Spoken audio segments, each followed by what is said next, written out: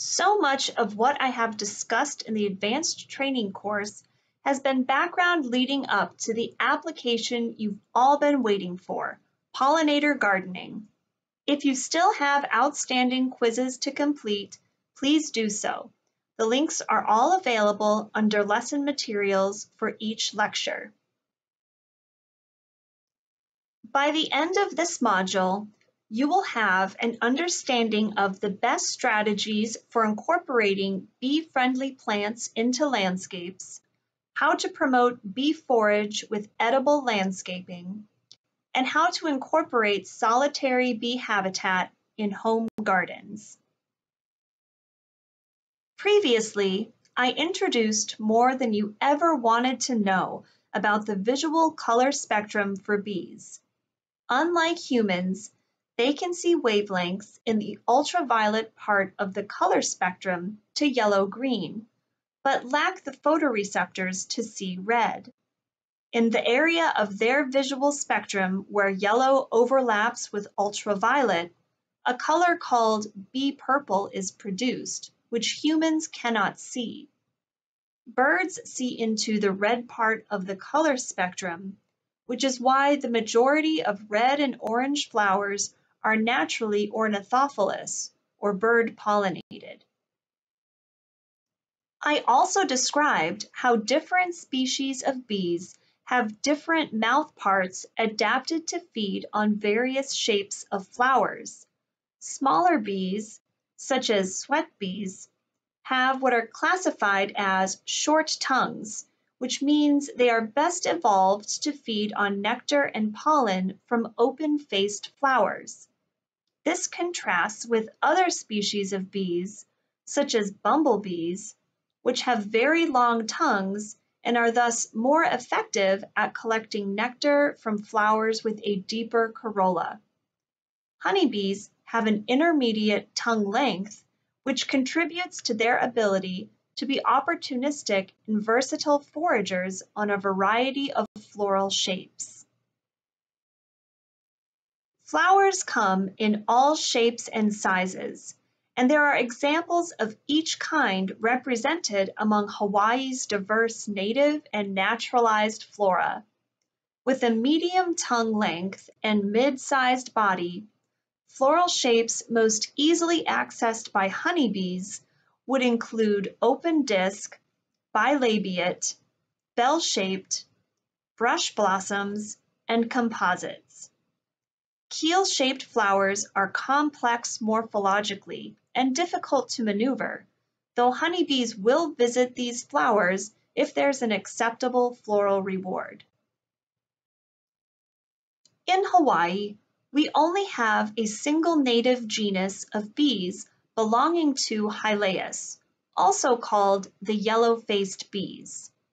The remaining 19 species have been introduced from elsewhere in the world, 18 of which are solitary. Honeybees are the only social bee in the state.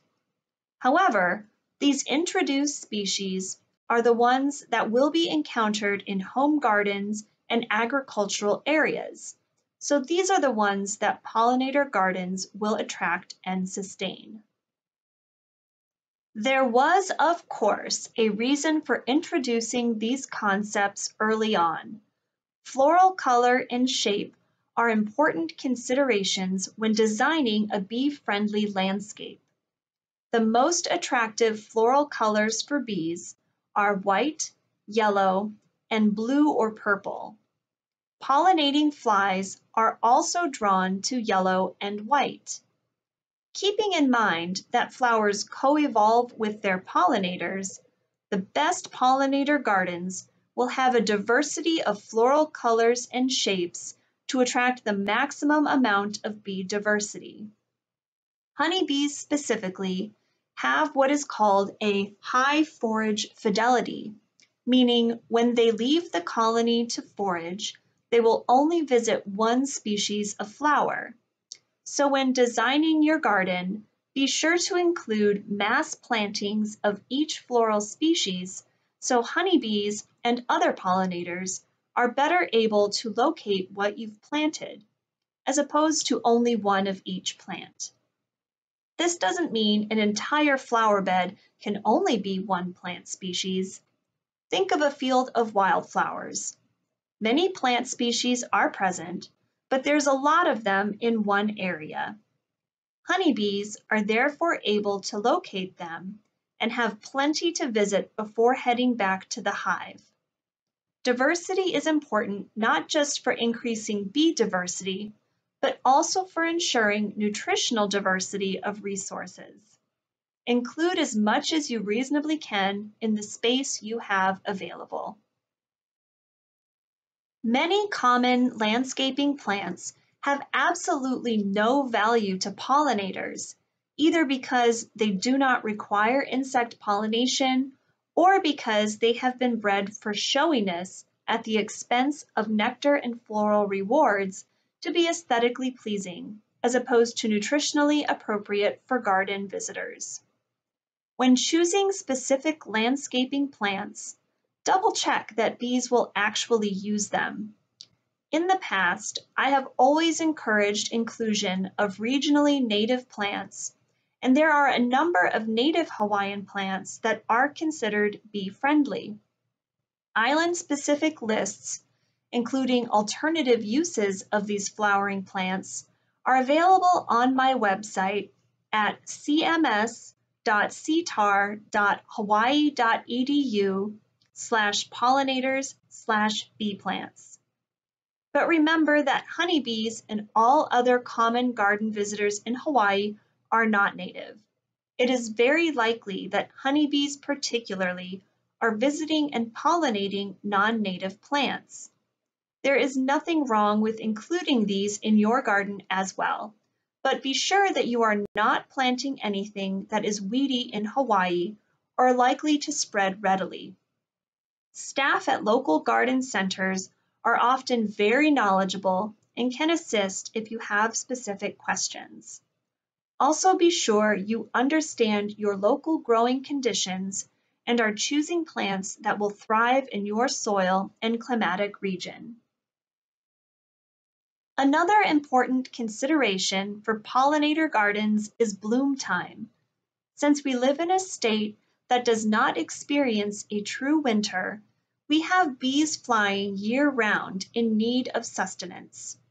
Within a single year, you should always strive to have blooming plants available, with a new cohort of blooms beginning as the previous one ends. But this doesn't necessarily mean replanting your garden every month. Both annuals and perennials provide pollen and nectar for bees. Annuals are more time consuming to maintain, while perennials are easier and larger. A balance of both in your garden creates a reliable resource for the bees and less of a headache for you. Flowering shrubs and trees provide mass bloomings, often for extended periods of time, and can help fill in times when you don't have annuals blooming. Beneficial pollinator habitat doesn't have to just be focused on purposeful landscaping. If you're going for the more natural vibe, weedy plants that occur in lawns can be left without using herbicide. Often, these are visited by honeybees and in temperate regions provide valuable forage, particularly in the spring.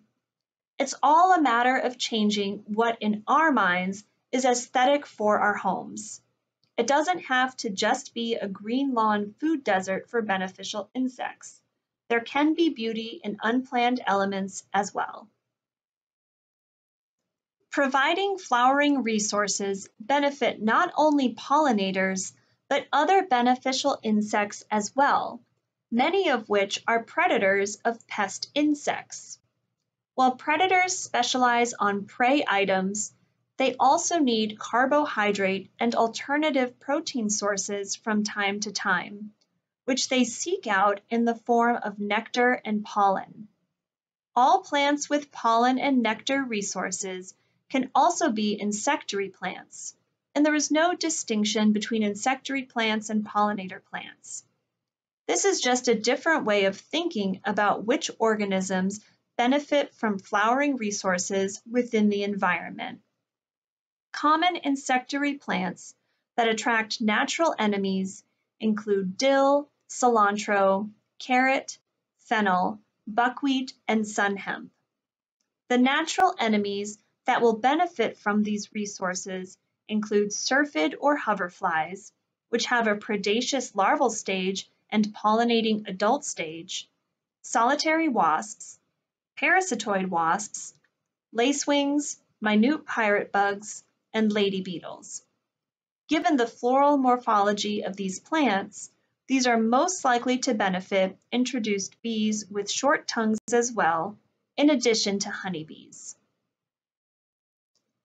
Providing flowering resources does not necessarily mean that you will immediately see an increase in pollinators or other beneficial insects, particularly if your neighbors and others in your neighborhood aren't also providing pollinator habitat.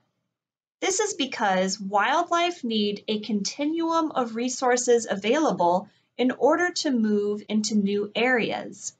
These can be defined as ecological corridors, or habitat connecting wildlife populations that have been otherwise separated by human activities or structures. Take, for example, this neighborhood street. You can tell from an aerial view that most people have opted for pristine green lawns and have very little insect-friendly landscaping. But what you don't see is that this neighborhood has a park to the right and a park to the left, which have pollinator populations. If everyone on this street planted pollinator gardens, then this would create a corridor by which pollinators from both parks could mingle. The Million Pollinator Garden Challenge has reached its goal of registering over 1 million pollinator gardens throughout the United States. But consider registering your epic effort and encouraging your neighbors to do the same. The statistic goes that one in every three bites of food we consume is dependent upon pollinators. Interestingly, there is nothing in the scientific literature to support this number, though it is widely quoted. I would hazard a guess that it's actually much greater than this, given that livestock are fed hay and alfalfa, which both depend upon pollination to an extent, at least for seed production. Anyway, what's important to remember is that when bees pollinate a flower, this is a mutual relationship. The plant gets pollinated and can reproduce, while the pollinator walks away with nourishment. So when you see a bee visiting a cucumber flower in your garden, both you and the bee are engaging in a win-win interaction. One of Michelle Obama's signature causes was nutrition, and she started the Feds Feed Families initiative, where federal employees would donate time and resources to plant gardens and donate all the produce to local food pantries, which often have fresh food shortages. In 2014, our 40 by 90 foot garden in Brookings, South Dakota produced over 2,100 pounds of produce, nearly all of which depended upon insect pollination. A small family farm large backyard garden planted to supplement incomes, and even a small vegetable garden have the potential to feed not only you and your neighbors, but the bees as well. A number of crops can be grown in home gardens that depend upon pollination, and you can incorporate these into your garden as shade plants or plant a vegetable garden. Various herbs are easy to grow, and though we tend to only want the greens, if you let them bolt, the bees will find them and provide you with the opportunity to save the seeds and replant. The same goes for lettuces, radish, broccoli, carrots, onions, and cabbage. Cucurbits are another group of crop plants, including various melons, squash, and cucumbers that depend upon honeybee pollination. Check your variety, however, because parthenocarpic types do not need pollination, and if they are pollinated, will result in misshapen fruits. You would typically only grow parthenocarpic varieties in protected structures where honeybees do not have access. For shade trees in your yard, mango and avocado are prolific choices. While the flowers are largely visited by pollinating flies, honeybees will also take advantage of the blooms. Whenever possible, plant heirloom varieties as these have not been bred for mass commercialization and still have quality nectar and pollen rewards. However, improved varieties are often pest resistant, which means you use less pesticide in your garden. It's a balancing act and make choices based on your own situation. Incorporating insectary plants into your edible landscape will further boost natural enemy populations and contribute to biocontrol efforts in your garden. Unfortunately, providing floral resources for food isn't enough if you are wanting to attract and maintain solitary bees to your garden or farm. Recall that with the exception of honeybees, all other bees in Hawaii have solitary lifestyles. This means that as opposed to living in a colony and working as a group, individual females are responsible for reproducing, locating a nest, and provisioning her young.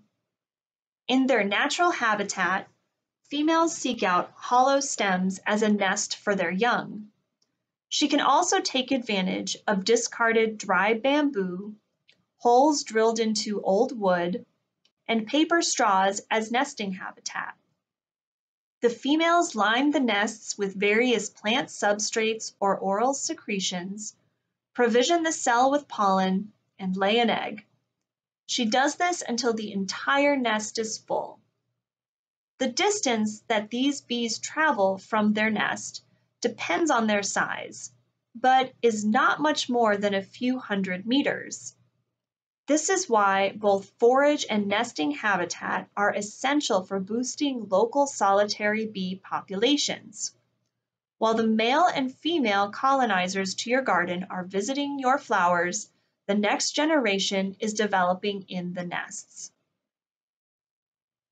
Artificial nest structures will be most effective in Hawaii in areas at lower elevations because so many of our solitary bees are introduced from elsewhere in the Pacific, they do not survive as well at higher elevations. And because so much of urbanized areas lack valuable pollinator forage, it may take time for the bees to find your habitat. Keep persisting and encourage your neighbors to create habitat as well to start creating ecological corridors for the bees to move throughout your neighborhood. There is a whole range of nesting structures you can use that will be taken advantage of by solitary bees. They can range from a luxury bee resort that becomes an upcycled focal point of your garden to a little Motel 6. The next time tree branches come down in a storm, drill holes in these and leave them as a stack in a corner of your yard for the bees. Bamboo can be bundled together with a string and hung from a tree. These are great projects for little hands too. Keiki loved decorating bee hotels as backyard art. As an activity, this can start broader conversations about the importance of pollinators, conservation, and Malama Aina. In order to receive credit for the advanced certification, Please complete Quiz 10 found under Lesson Materials. The final lecture of this Advanced Pollinators module for the Master Gardeners will be presented by Dr. Will Haynes and will cover the identification and biology of Hawaii's native butterflies, as well as host plant considerations for encouraging their presence around your home.